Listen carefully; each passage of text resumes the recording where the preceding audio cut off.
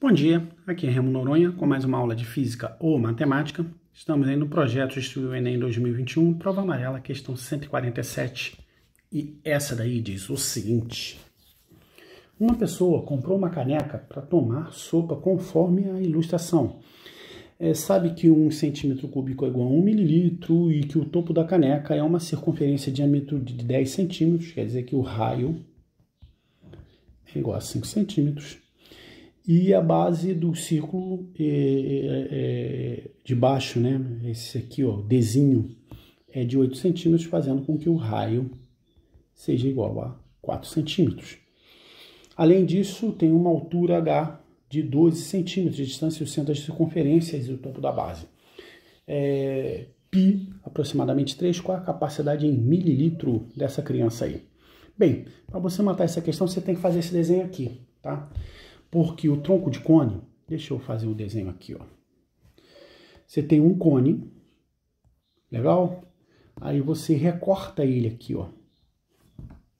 Inclusive, então, esse volume daqui é o volume do cone maior menos o volume do cone menor.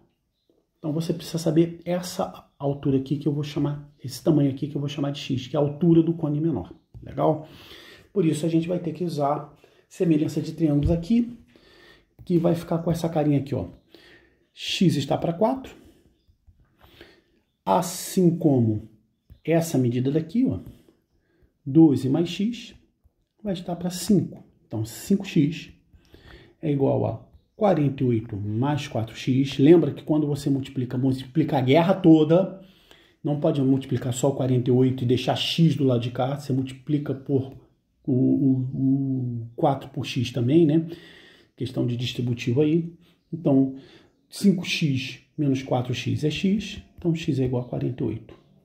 Então, essa medida daqui, ó, é 48 e é a medida do, da altura do cone maior lá da nossa brincadeira vai ser 48 mais 12, que dá 60. Então, o volume que você vai ter aí vai ser é, o volume do cone, deixa eu botar a fórmula aqui no cantinho. Ó. Área da base, πr ao quadrado, que multiplica a altura dividido por 3, igualzinho a pirâmide. Legal? Então o volume vai ser do cone maior, fazer ele em verde, que é π, que multiplica o raio ao quadrado, dividido por 3, multiplicado pela altura. A altura é 60 menos o cone menor, π, que multiplica o raio ao quadrado. Tá aqui, ó. π que multiplica o raio ao quadrado, dividido por 3, multiplicado pela altura, que no caso é o valor de x, que é igual a 48. Como ele falou para aproximar π igual a 3, o teu volume vai ser 25 vezes 60 menos 48 vezes 16. Bem, aqui, que tal multiplicar o 25 por 2, que é 50, e dividir o 60 por 2, que é 30. Então, esse resultado aqui é igual, né? Porque eu multipliquei um, dividi o outro.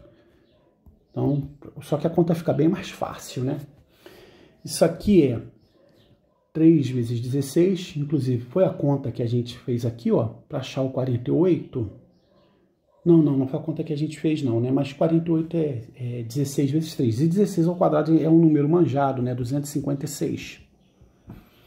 Então aqui o volume vai ser 1.500 menos 3 vezes 6, 18, vai 1. 15 com 16 vai 1. 6, 7, 7, 68. Legal? E Deixa eu abrir espaço para o rascunho, né?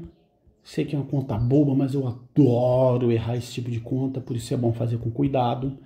Um, dois, pegou um emprestado nove, três, pegou um emprestado quatro, 732, 732 centímetros cúbicos, que centímetro cúbico e mililitro é, é sinônimo, né? Então, vá lá, 732, marca a letra C, de cachorro louco e não se fala mais nisso. Bem, pessoal, aqui a gente tem aula todo santo dia. Deixa o like aí, compartilha com os amigos se gosta do trabalho, com os inimigos se não gosta tanto assim. Mas principalmente dá uma olhada lá no Drive, na descrição do canal, que tem um montão de recursos para te ajudar. E mais, aquele enorme abraço.